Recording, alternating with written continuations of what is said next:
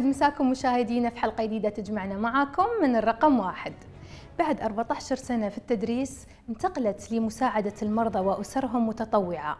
كانت أحد المؤسسين لجمعية الإمارات للثلاسيميا عام 1997 فكرمت وحصلت على العديد من شهادات التقدير. أهمها تكريم من صاحب السمو الشيخ محمد بن راشد آل مكتوم من ضمن أوائل الإمارات في دورته الثانية. خالدة خماس هي بطل ومحور حلقتنا خلكم معنا.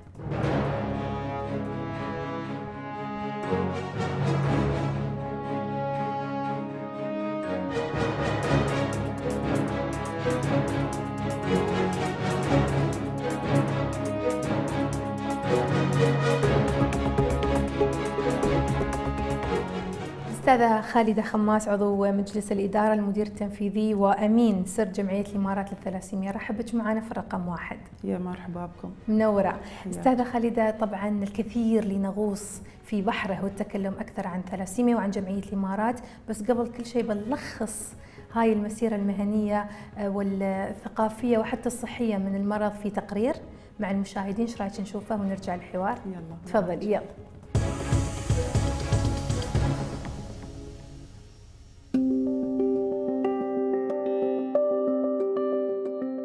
بدأت خالدة علي خماس حياتها العملية عام 1980 مدرسة في وزارة التربية والتعليم انتقلت عام 1995 للعمل في مركز الثلاسيميا في دبي حتى عام 2012 وعملت منذ العام 1997 متطوعة لدى جمعية الإمارات للثلاسيميا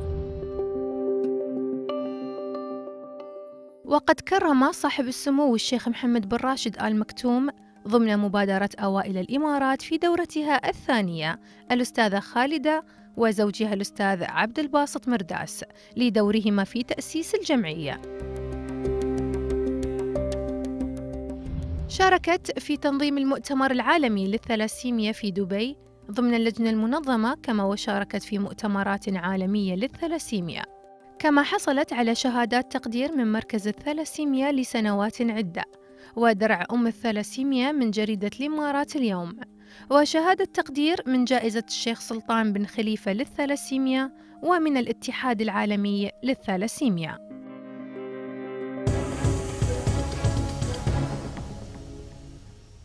آه إذا أستاذة خالدة بعد ما شفنا هذا التقرير خلنا نمشي معاك خطوة بخطوة. قبل كل شيء لمعرفة المشاهدين أكثر شو هو مرض الثلاسيميا سريعاً؟ مرض الثلاسيميا مرض وراثي ينتج عن زوجين حاملين لهاي الصفة الوراثية. نعم. إذا كان الزوج والزوجة حاملين هاي الصفة ينتقل إلى الأبناء بنسبة 25% من كل مرة تحمل فيه الزوجة. أوكي. فهاي النسبة خطيرة بالنسبة للزواج بين اثنين حاملين هاي الصفة الوراثية. نعم. لأن ليس مرة في العمر إنما في كل مرة تحمل. تحمل فيها الأم. هناك خطورة بأن تحصل على طفل مصاب بمرض الثلاسيميا بنسبة 25% والثلاسيميا اللي هو مرض يصيب الدم. نعم الثلاسيميا هو تكسر في الكريات الحمراء. بالضبط. آه يبقى النخاع جنيني. آه يحتاج المريض كل 21 إلى 30 يوم إلى نقل دم مستمر مدى الحياة. نعم. وأيضا يحتاج إلى دواء طارد للحديد. يكون باستخدام إبرة تحت الجلد لمدة 12 إلى 24 ساعة بعض الأحيان. نعم. وأيضا هناك بعض الأدوية عن طريق الفم. هذه الأدوية ضرورية جدا لطرد الحديد من الجسم. يعني الموضوع معقد يعني مو مو بسيط مثل يعني ما يمكن بعض المشاهدين يعتقدون. طيب على طار هذا الموضوع وين وصل علاج هذا الموضوع في دولة الإمارات حاليا؟ مرض الثلاسيميا. بفضل من الله ومن القيادة الرشيدة طبعا علاج مرض الثلاسيميا متوفر في دولة الإمارات نعم. وعلى أفضل مستوى من الخدمات المتميزة على مستوى العالم والعلاج مجاني في الدولة سواء للمواطن أو المقيم بدعم من جهات مختلفة لتوفير العلاج اللازم لكل مريض. نعم. والحمد لله نحن العلاج اللي عندنا على مستوى عالمي المرضى اللي عندنا موجودين في المراكز الصحية لا يبدو عليهم المرض آه، وناس طبيعيين جدا يمارسون حياتهم الطبيعية. بشكل طبيعي. نعم. يعني هاي المنظومة كلها الدولة والقيادة الرشيده بعد جمعية الإمارات كان لها دور نعم. لمرض الثلاسيميا خبرينا عن تأسيس الجمعية. آه، طبعا نحن آه، في بداية 89 أنا أتكلم عن نفسي آه، عانينا من ولادة أول طفل آه، لنا مريض بالثلاسيميا. هاي المعاناة آه، دفعتنا إلى نحن نفكر كيف ندعم مرضى الثلاسيميا في الدولة وكيف ننشر الوعي في المجتمع الإماراتي. لأن آه، نحن عن نفسنا آه، ما حصلنا أي معلومات عن هذا المرض. نعم. لم نكن نعرف ما هو مرض الثلاسيميا. آه، لذلك وقعنا في شباك هذا المرض اللي يعتبر خطير والمعاناة فيها آه، جدا كبيرة على كاهل الأسر. يعني نعتبر إن البداية كانت عاطفية نفسية كتجربة خاصة مع آه، ابنك الله يحفظه طبعا يخلي لك فكانت هاي بادرة ان ما هو المرض شو أبعاده وما إلى ذلك. الجمعية شو قدمت غير موضوع التوعية لأمراض الثلاسيميا؟ طبعا الجمعية تأسست بفضل من آه، أولياء أمور المرضى نعم. اللي تحمسوا على أساس أن يكونون في آه، أعضاء في مجلس إدارتها. نعم. آه، الجمعية تقدم الدعم ال- من جميع الجهات الدعم المتكامل سواء المادي المعنوي النفسي مهم. الاجتماعي الطبي آه، أي شيء يحتاجه المريض آه، الجمعية تقدمه. تقدمه. آه، بشرط أنه يكون عضو في جمعية الإمارات للثلاسيميا نعم. يقدم عضويته آه، يسجل العضوية فقط. آه، ثم آه، تقدم له جميع الخدمات التي يحتاجها اللي يحتاجها. طيب بما أننا قاعدين نتكلم عن الدعم آه، يهمني جدا أعرف دور واهتمام الشيخة شيخة بنت سيف آل نهيان إن كان في دعم الجمعية أو حتى في دعم آه، مرضى الثلاسيميا خبرينا عنها. آه، طبعا تجربة جدا جميلة العمل مع سمو الشيخ شيخ حرم آه، سمو الشيخ سلطان بن خليفة آل نهيان. آه، مستشار رئيس صاحب السمو رئيس الدولة حفظه نعم. الله الله يحفظك آه، شيخة شيخة تحاول أن تقدم جميع أنواع الدعم للمرضى.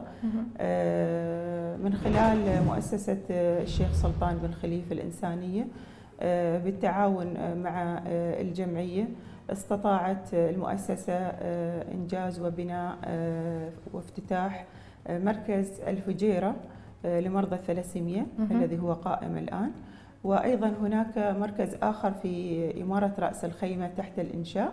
نعم. وإن شاء الله سيتم افتتاحها قريبا. ونتمنى أن تكون هناك مراكز أخرى لدعم مرضى الثلاسيميا على مستوى دولة الإمارات. نعم. وجزاها الله خير ما يعني ما تتأخر أو ما تتوانى ولا تألو جهدا أكيد. بأن تدعم مريض الثلاسيميا أينما كان في الدولة. يعني كنت صاحبة أول خطوة وفكرة في موضوع بسبب معاناة أحد أبنائك وبس أنت ما وقفتي هني. أنت قدمتي العديد حتى من الأفكار والمبادرات اللي حصلت دعم من كان من جهات أو مراكز معينة. أهمها خبرينا. طبعا أهم الأفكار عشان وعي المجتمع كانت مسابقة ما هي ثلاسيميا على مستوى دولة الإمارات آه، سواء من المرحلة التأسيسية وحتى الجامعية. وهذه المسابقة مستمرة معنا حتى الآن نعم. السنة السابعة. ما شاء الله. والحمد لله آه، كان لها صدى كبير آه، في بين أفراد المجتمع. تقبلوها يعني. تقبلوها مهم. وأبدعوا فيها المدارس والطلاب صراحة. نعم. آه، والنتائج كانت جدا الحمد لله يعني مرضية. لأنها قللت الكثير من الإصابات اللي موجودة في الدولة. قلت عدد إصابات آه، الأطفال بهذا المرض. زادت أو رفعت نسبة الوعي. نعم. صرنا نعرف أكثر عن المرض. يعني ما شاء الله سنوات أيام سويعات ليال يجوز وأوقات طويلة قضيتها في هذا المجال مرضى الثلاسيميا. ففي سؤال نعم. بقالك وقت؟ مشاهدينا بقالها وقت لاهتماماتها وهواياتها بعدها تمارس الأشياء اللي تحبها أوقات فراغها خالدة خماس ولا لا؟ هذا اللي بنعرفه بعد الفاصل.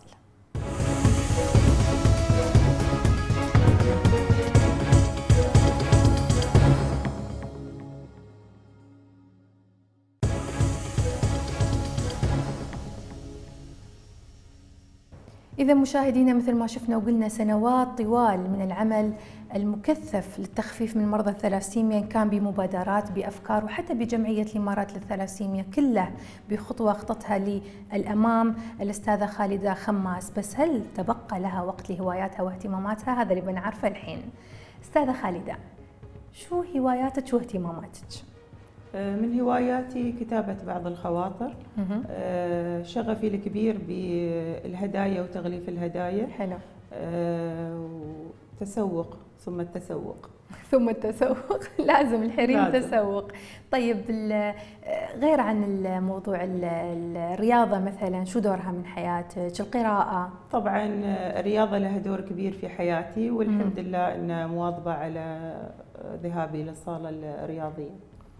طبعا إحنا ما ننكر ولا غنى عن آه، تأكيد وذكر دور الأسرة في تكوين شخصية أي إنسان فما بالك أستاذة خالدة إذا كان هذا الإنسان رقم واحد.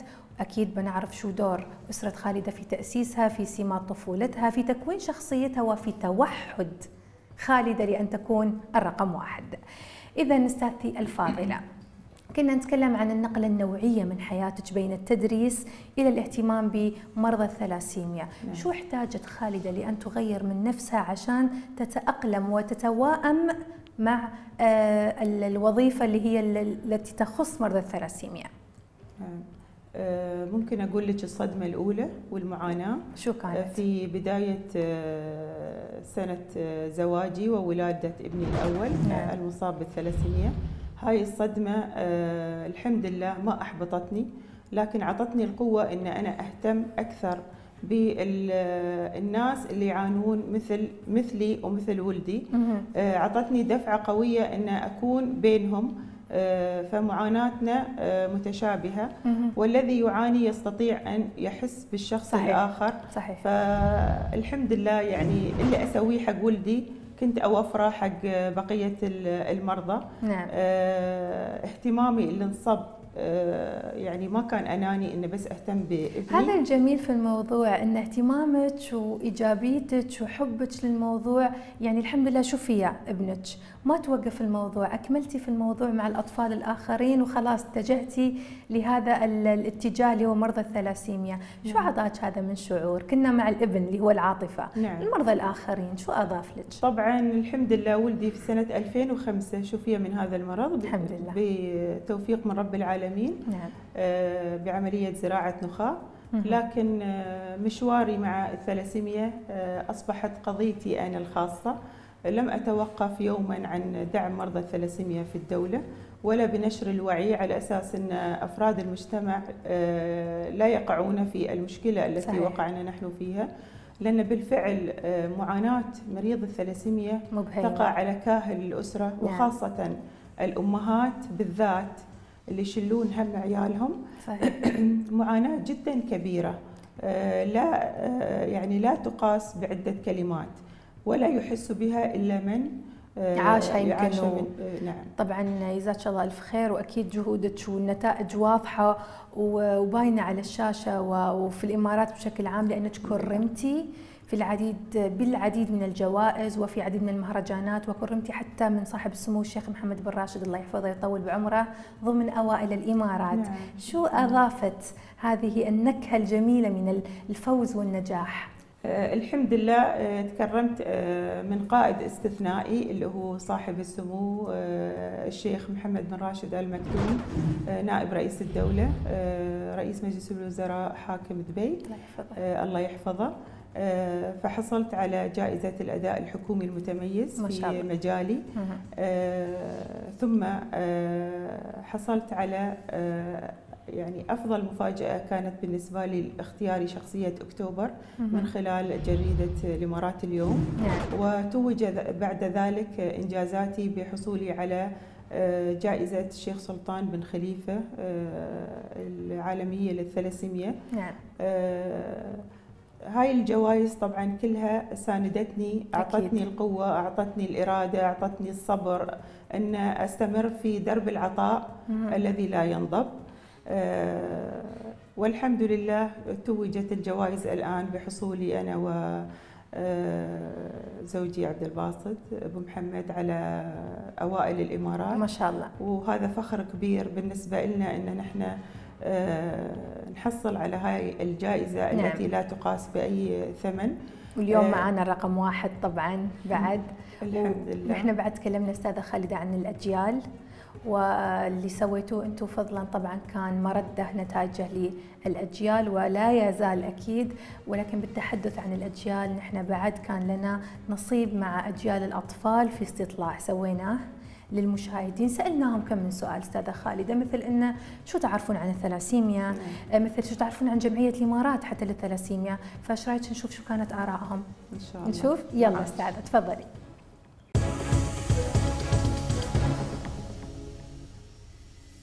مرض الثلاسيميا هو مرض فقر الدم وأيضا هو وراثي. هو المرض للفقر الدم عندما إذا كان الدم قوي إذا ما عالجوا المرض سوف يموت من هو صغير؟ أه بعرف مرض الثلاسيميا هو فقر دم. سمعت عن جمعية بس ما أعرف عنها وايد أشياء. لا لا لم أحضر ندوة لتوعية المرض. أه خالدة علي خماس. أه بشكرك لأن أنت ساعدتي كثير من الناس اللي عندهم مرض الثلاسيميا. أنت سويتي معروف كبير حقهم. لأن فتحتي الجمعية. خالدة علي الخماس أشكرها لأنها عالجت أه كثير من الأمراض من الناس. ويمكن بعضهم من عائلتي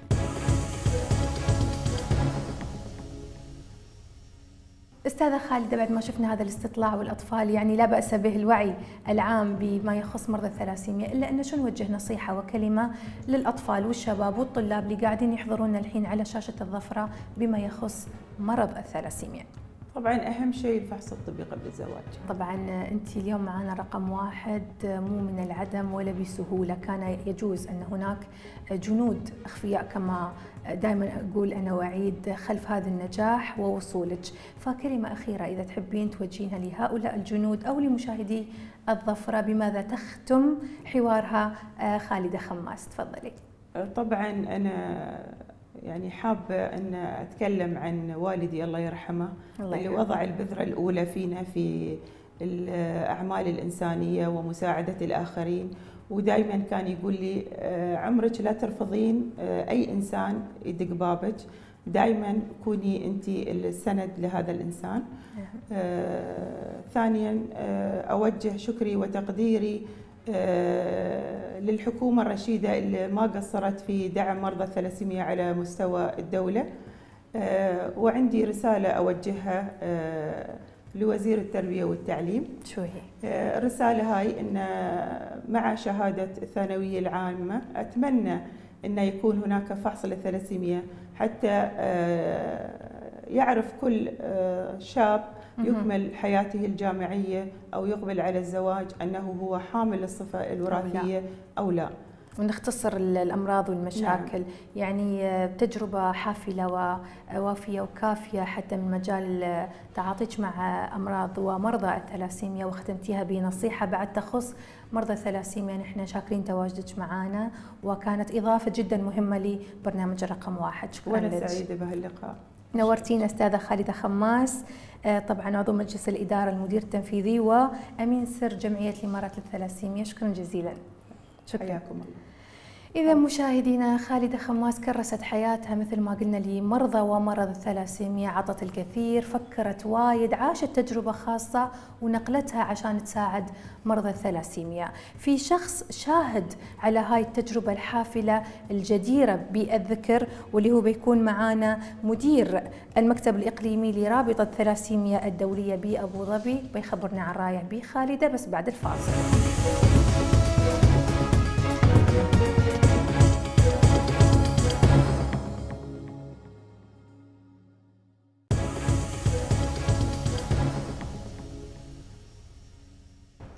مشاهدينا حياكم الله في آخر فقرة اليوم ومحور معانا من برنامج الرقم واحد. بيكون معانا الدكتور عصام ظهير مدير المكتب الإقليمي لرابطة الثلاسيميا الدولية بأبو ظبي ومستشار بعد لجمعية الإمارات للثلاسيميا في أدبي.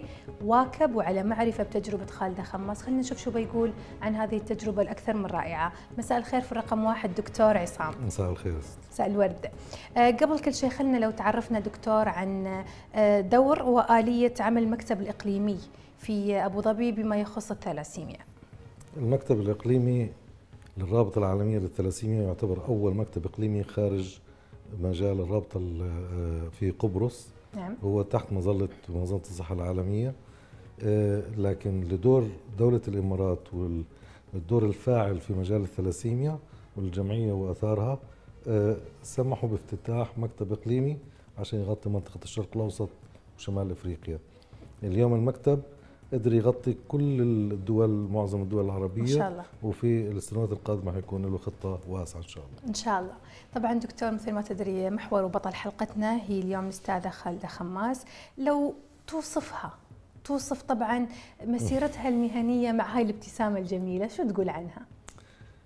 شوف أنا بقول خالدة خماس آه، آه، تاريخ معين كان متحرك. نعم. من 1991 آه، أول لقاء طبيب جاء له أم معها ابنها عمره شهور وجاية تتكلم تسأل تستفسر إيش الموضوع.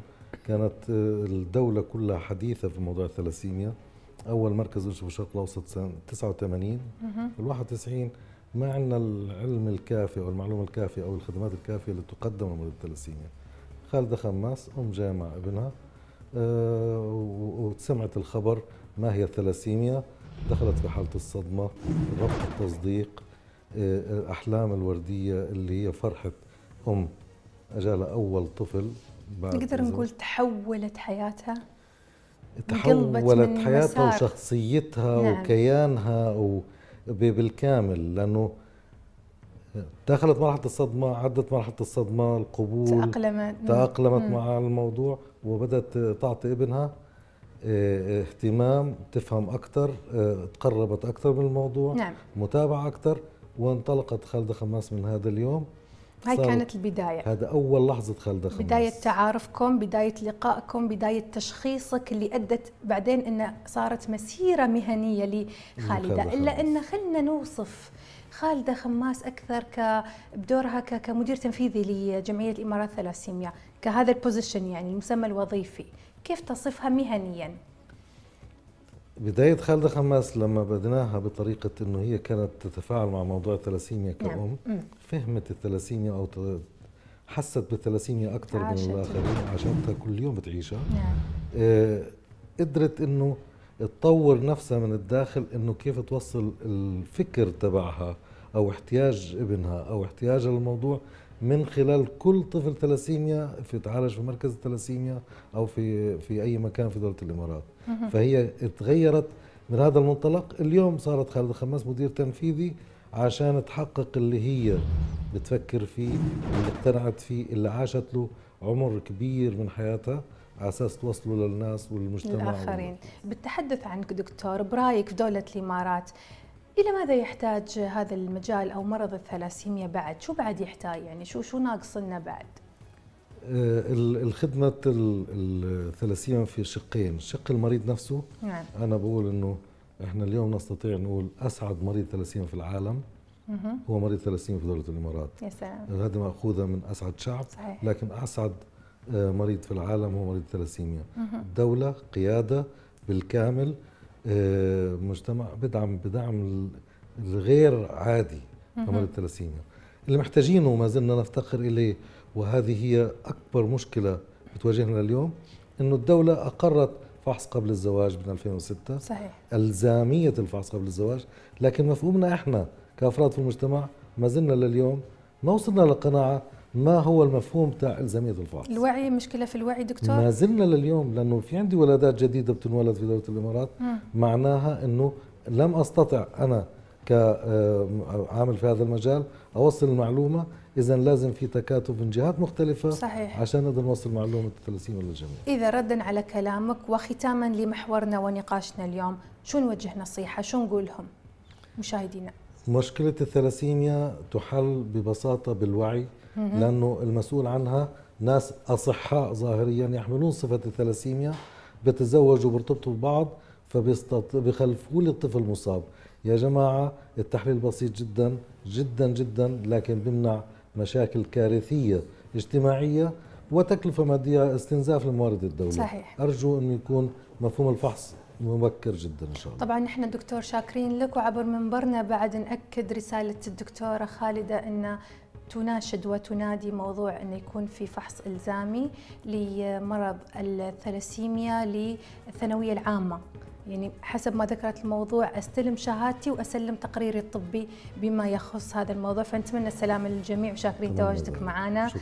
إذا مشاهدينا مثل ما شفنا العمل عبادة. فما بالكم إذا ارتبط بلمسة إنسانية تحتاج لجهد نفسي عشان يتعالج؟ لأن في الأخير كل حالة هي عبارة عن حياة إنسان. عسى يتجدد هذا اللقاء على خير مع رقم واحد جديد في مجال آخر. خلكم معنا